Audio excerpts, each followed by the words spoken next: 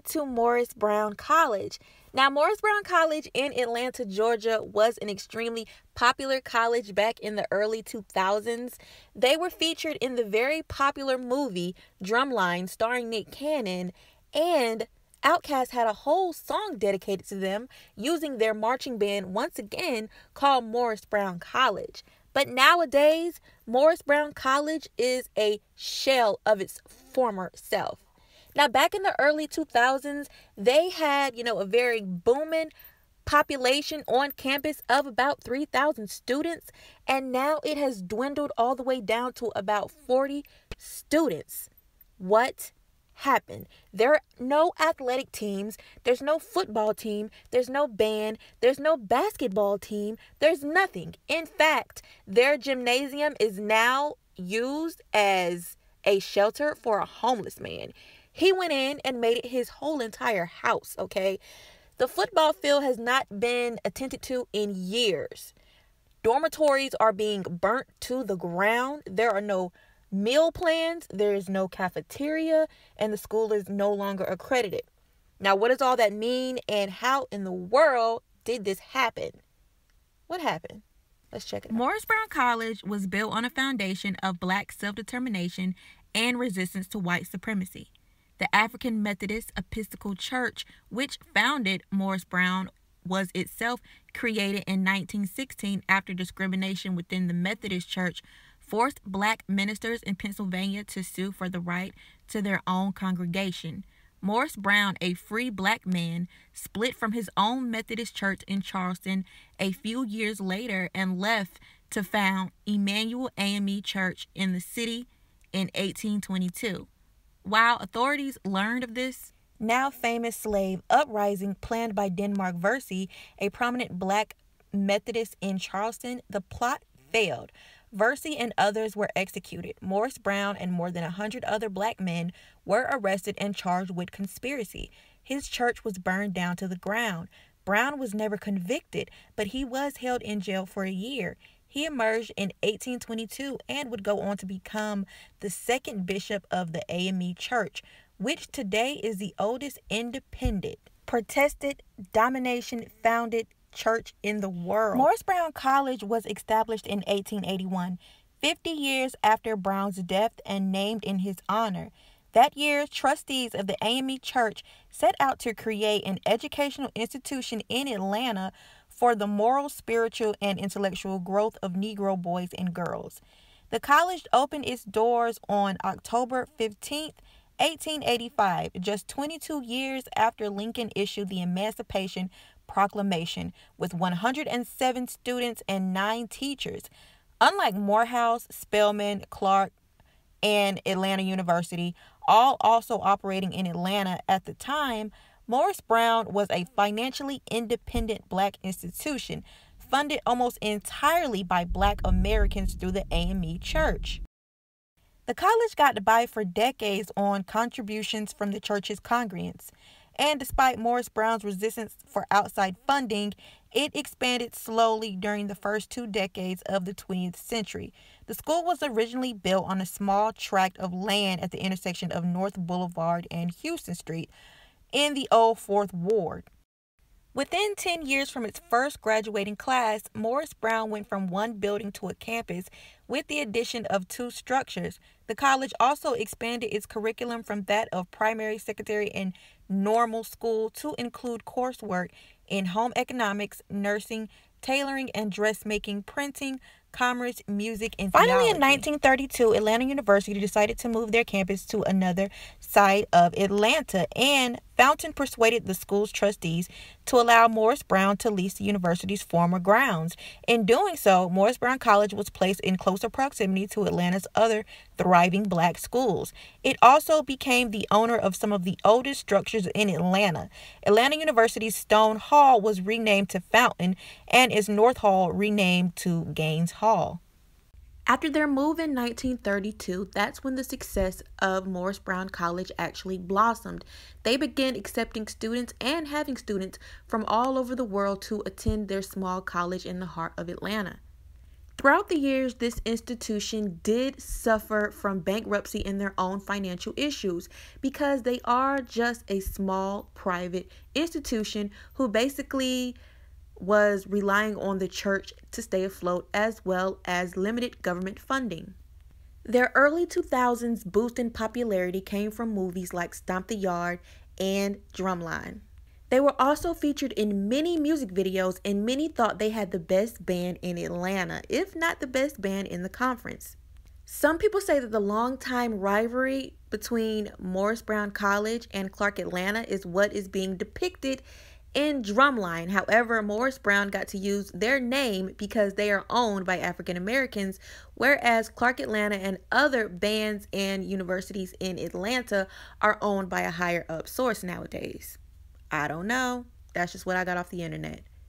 Now that I think about it, I don't know too many institutions that actually have used their real name in movies besides Morris Brown College. Everybody else has a fictional made up name as well as fictional made up Greeks. Now, keep in mind that on the outside, even though Morris Brown College was thriving in the early 2000s, they have had financial hardships their entire time of being open. They relied basically on church donations and tuition dollars. So, over the years, they have not had it easy.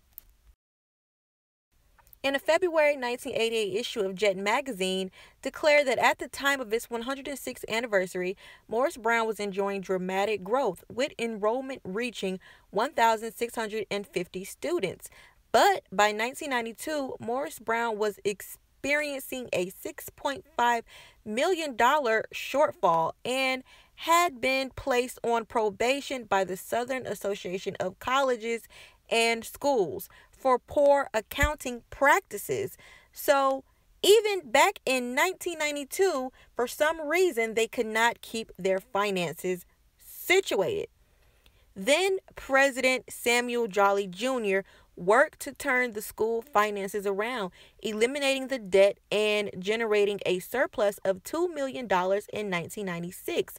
Enrollment reached about 3,000 students, and then Cross walked in. So when Cross arrived at Morris Brown College, it was troubled already. I already told you guys it was bankrupt in the past, and in the past, it just relied on students' financial aid. So it was troubled, but it wasn't in like foreclosure, like it couldn't be saved. So when Cross arrived at Morris Brown College, it was financially troubled.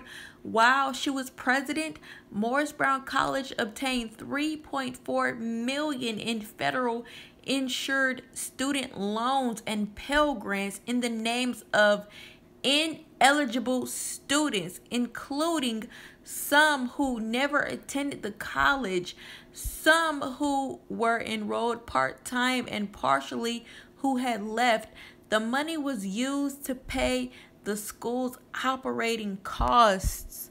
Will y'all let that soak in? Okay. We're talking about insured student loans and Pell Grants in the name of ineligible. Okay, so we're not talking about students who could obtain the loans and go to the school. We're talking about students who never even stepped foot on the campus. We're also talking about students who didn't have high enough grades to go to the school. Even though they were disappointed, they went to community college. So let's let all of that sink in. So what happened?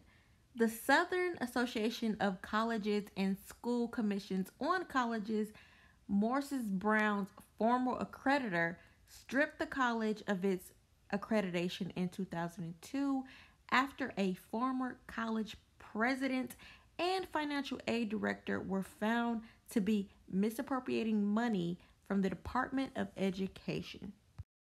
So, this basically means that the accreditation was gone and you could not receive financial aid if you were a student at Morris Brown College, you would have to pay your entire way. You would not receive any aid from the government. That means no Pell Grant. That means that more students were going to Clark Atlanta. That means more students were going to the public institutions that were not trying to go to a private institution that was up the rails in money and they had to pay it out of pocket. There's no way they could do that. So that is why that is why Morris Brown was turned on its head and became a shell of its former self because even as a private college students still would go.